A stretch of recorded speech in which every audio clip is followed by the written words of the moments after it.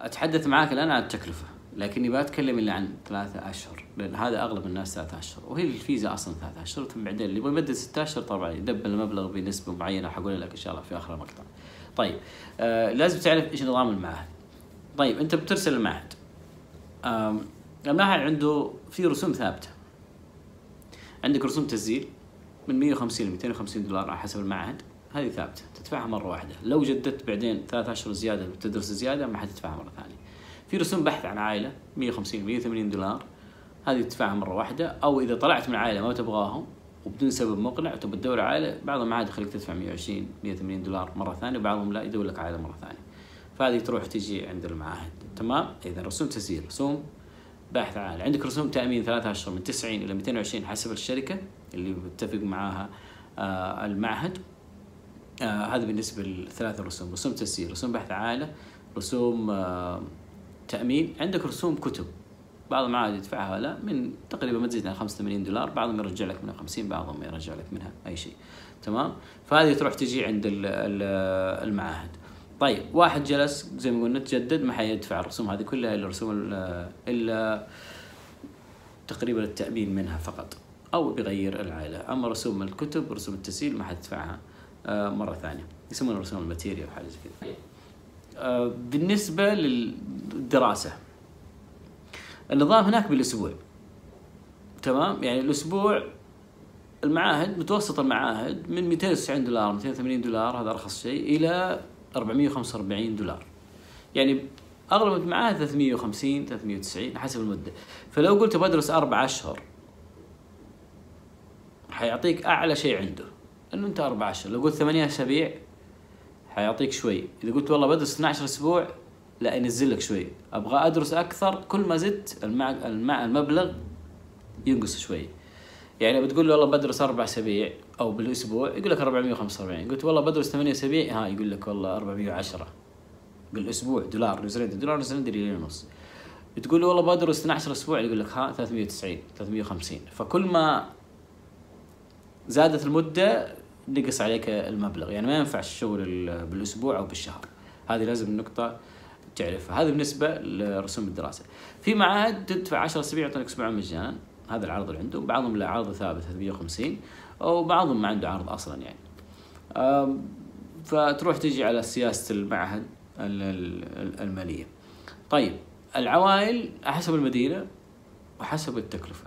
يعني مثلا مدينة كوينستاون سياحية سعر العائلة فيها 340 في أوكلاند من 290 ل 300 فيختلف من مدينة لمدينة سعر ال- العائلة. أيضا الشتاء يضيفون 10 دولار سعر فواتير التدفئة التكلفة. آه، تدفئة البيت فيدفعوا يدفعونك 10 دولار زيادة. بعض العوائل يدفعونك 10 5 دولار حقة الإنترنت. بعضهم لا الإنترنت مجانا بالنسبة لهم. طبعا الواي فاي موجود في كل مكان في المعاهد مجانا في الكافي مجانا. مكان يعني مطاعم أي مكان تحصل الواي فاي. كثير عندهم. يعني بعد حسبنا التكلفة كاملة. آه، كم تقريبا؟ ثلاثة أشهر. ثلاثة أشهر من 20 إلى 23 ألف. متوسط المعاهد الممتاز الجيد اللي جودته عالية. من 20 إلى 23 ونص. إذا تبي تزود ثلاثة أشهر طبعا حتروح عليك رسوم تسجيل مبلغ حينقص ممكن من 36 إلى 42 ألف ريال. طبعا قلت لك شامل رسوم رسوم المعاهد شامل الدراسة شامل العائلة شامل التأمين. هذه تقريبا المبلغ كامل. طيب باقي عندك طول السلامة رسوم الشخصية يعني المعيشة. كم يكفيني محمد في الشهر؟ من 1500 ريال إلى 2000 ونص. يكفيك لأنه ما عندك أصلا إلا مواصلات للباص. وعندك طول السلامة الغداء وجبة غداء وكوفي وأشياء بسيطة يعني تمشيات خفيفة. ف 1500 إلى 2000 ونص تكفيك. خلينا نقول 2000 ريال في الشهر الواحد. يعني إذا رحت ثلاثة أشهر 6000 ريال هذه مصروفك. إذا أكثر من كذا معناه مسرف خلينا نقول يعني. آه، هذه أغلب الأشياء اللي ممكن تبغى تعرفها عن ال- التكلفة. في نقطة مهمة عن التكلفة. آه، في عندك المعاهد part time ثلاث ساعات باليوم أو خمس ساعات. لا تاخذ ال part time ابدا لأن ما في فائده خليك في ال... في الخمسة ساعات في ال full time آه عندنا ال- المعاهد قسمين جنرال لغة إنجليزية عامة أو IELTS أو لغة أكاديمية.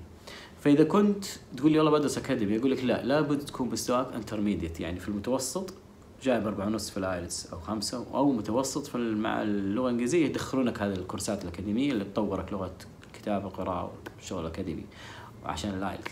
لكن قبلها إذا كنت pre intermediate أو elementary أو beginner ما يدخلوك هذه الكورسات لازم تبدأ جنرال وتمشي فيها مرة ثانية. الأمر الثاني الكورسات الأكاديمية لها وقت ثابت تسجيل يعني ما ينفع أي أسبوع تجي. لكن المعاهد الثانية لو تجي يوم الاثنين يقبلوك. لكن عشان تحصل عائلة لازم تكلم المعهد قبلها بأسبوعين حتى يدوروا لك إيش؟ عائلة. يعني ما ينفع تجي والله يوم الاثنين تدوروا معهد وعائلة. لا تحصل له معهد معهد يقبلوك في نفس اليوم الاثنين أول يوم عندهم السبت واحد إجازة. لكن بالنسبة للعوائل لازم تعطي تنبيه قبلها أسبوعين ثلاثة يدوروا لك يحصلوا لك العائلة. آه المناسبة مثل ما قلت هذه الأشياء اللي ممكن تفيدك في ناحية آه، التكلفة وغيره. طبعا هذه التكلفة اللي أكلمك عليها الأفضل إنك تكون عن طريق مكتب ينسق لك هذه الأمور مع المعهد آه، راسلني قبل سفرك إن شاء الله بشهر شهر ونص أنا أنسق لك كل شيء أنا عندي عقود مع معاهد بإذن الله إن شاء الله بإذن الله حجيب لك الشيء اللي يناسبك. والله يوفقنا ويوفقك.